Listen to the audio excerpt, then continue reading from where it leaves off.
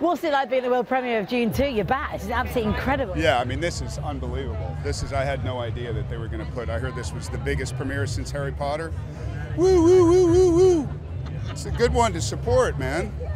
Tell us about your lovely character, Gurney. When was the last time, I mean, what's happened since we last saw him? How's he changed? Uh, he feels like he's lost his family, he's brokenhearted, he's angry, he's grumpy. He's trying to manifest it through a fictional instrument called the balisette, and then he's reunited, and joy and light comes back into his eyes. Bam! Take two now. Let's talk about the amazing cast that surrounds you. How, how great was that? It was honestly great. There was one scene that we have where Timothée's character and Austin are fighting.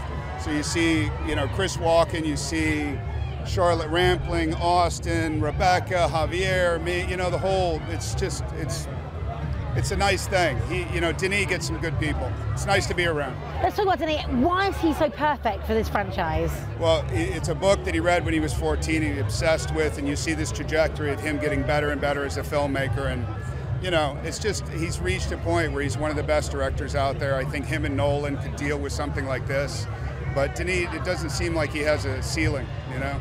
And what's your message for the world? Why should we see this film? The what? What's your message for the world? Why should they see it in a cinema? I think it's surrounding me right now. Every reason to see it exists around me. I mean, it's a really good film. I don't know how you say anything other than it's a brilliant film. Everybody who's seen it loves it. Be one of those.